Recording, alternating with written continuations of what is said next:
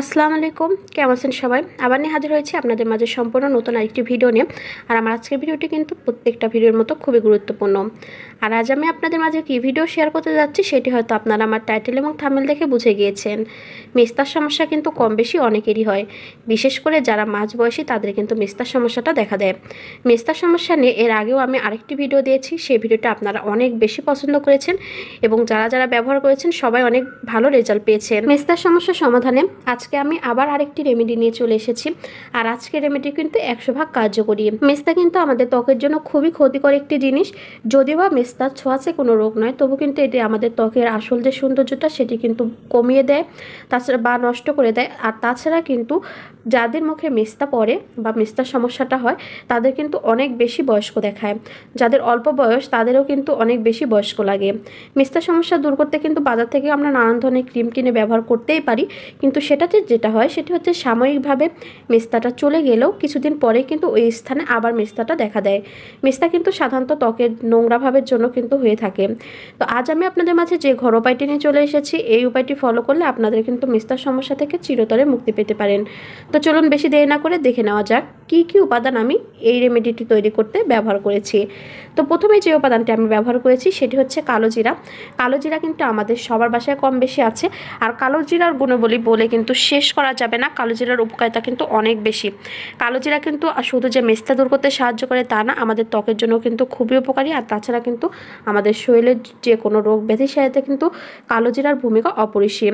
তো এখানে দেখতে পাচ্ছেন, আমি কিন্তু কিছুটা পরিমাণে কালো জিরা নিয়েছি। এই কালো জিরাটা যেটি করতে হবে সেটি হচ্ছে পিষে নিতে হবে বা ব্লেন্ড করে নিতে হবে। তো এখানে দেখতে পাচ্ছেন, আমি এই কালো জিরাটা কিন্তু একটু শিলনোড়ায় পিষে নিয়েছি বা বেটে নিয়েছি। আপনার চাইলে কিন্তু ব্লেন্ডারে ব্লেন্ডও করে নিতে পারবেন, এতে কিন্তু কোনো সমস্যা নাই।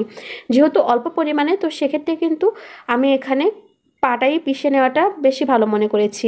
তো এরপরে আমি যে উপাদানটি দিয়ে দেবো সেটি হচ্ছে নারকেল তেল। এখানে কিন্তু অবশ্যই চেষ্টা করবেন খাঁটি যে নারকেল তেলটা, সেটি ব্যবহার করার।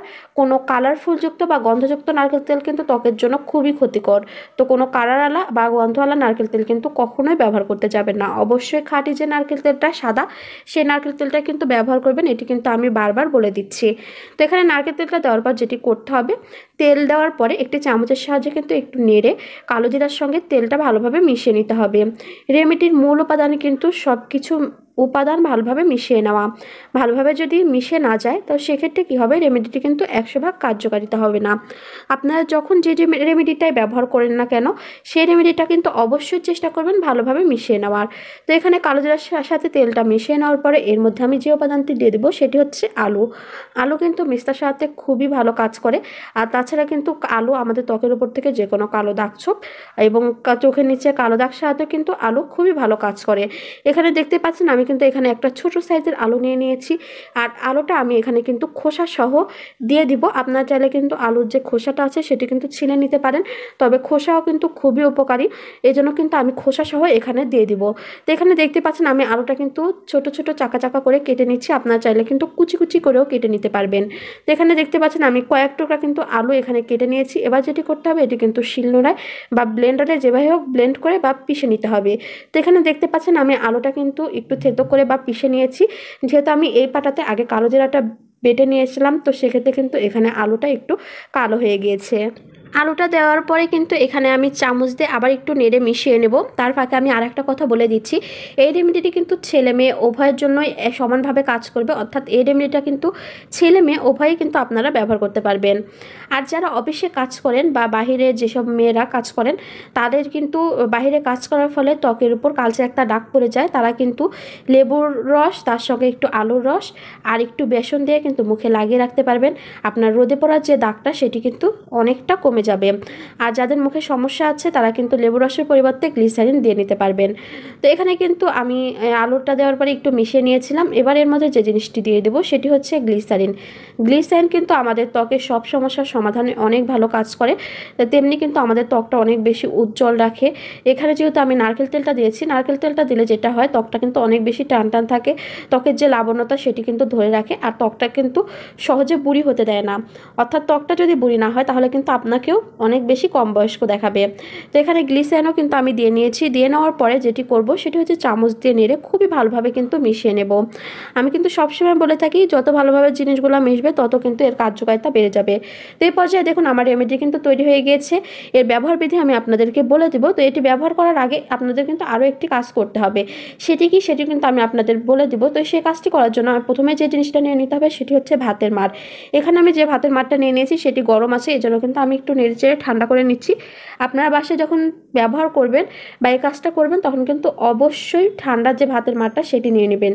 ভাতের মাঠ ঠান্ডা হলে কিন্তু অনেকাংশ ঘন হয়ে যায়।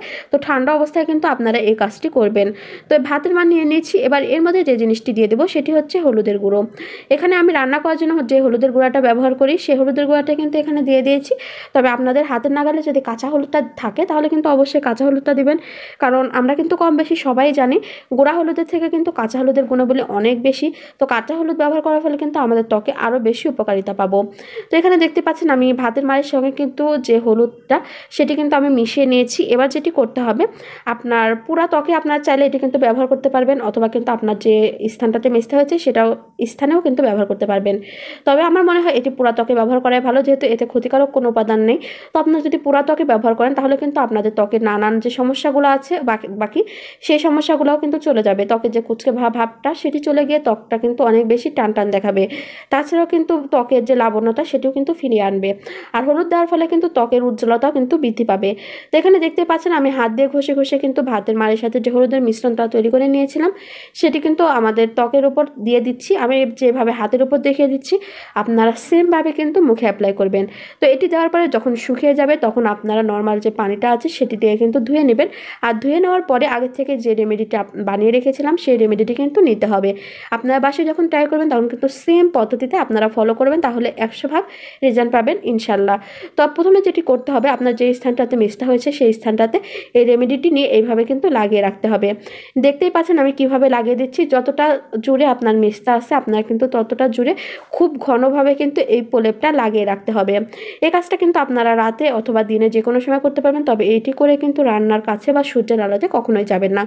আপনার চাইলে কিন্তু এটি শুধু মিস্তার যে স্থানটাতে হয়েছে, সেখানে ব্যবহার করতে পারবেন অথবা কিন্তু আপনারা পুরো মুখেও এটি ব্যবহার করতে পারবেন। যেহেতু এতে ক্ষতিকারক কোনো উপাদান নেই, সেক্ষেত্রে কিন্তু আপনাদের ত্বকের কোনো ক্ষতি করবে না, বরঞ্চ অনেক বেশি উপকার দিবে। আপনারা যদি এই মিশ্রণটা পুরো মুখে ব্যবহার করতে চান, তো পুরো মুখে কিন্তু পাতলা করে দিয়ে নেবেন। আর যে মুখে যে স্থানটাতে মিস্তা হয়েছে, সেই স্থানকে তাতে কিন্তু অবশ্যই ঘন করে দিয়ে নেবেন। যখন এই রেমেডিটি মুখের উপর শুকিয়ে যাবে, তখন কিন্তু এটি উঠিয়ে নেবেন। আর যদি রাতে ব্যবহার করবেন, তাহলে কিন্তু সারা রাত রেখে সকালে উঠিয়ে নিয়ে আপনারা বাসায় ব্যবহারকৃত যে ফেস ওয়াশটা ব্যবহার করেন, সেটি দিয়ে কিন্তু মুখটা ধুয়ে নিয়ে নর্মাল যে স্নোটা সেটি কিন্তু ব্যবহার করে নেবেন। এভাবে যদি আপনারা কয়েকদিন ব্যবহার করেন, তাহলে কিন্তু আপনাদের মেস্তার সমস্যাটা একদম গোড়া থেকে চলে যাবে আর কিন্তু কোনোদিনও ফেরত আসবে না। তো আজকে ভিডিওটা কিন্তু এ পর্যন্তই। সবাই ভালো থাকবেন, সুস্থ থাকবেন। নতুন নতুন ভিডিও পেতে আমার চ্যানেলের পাশেই থাকবেন। আল্লাহ হাফেজ।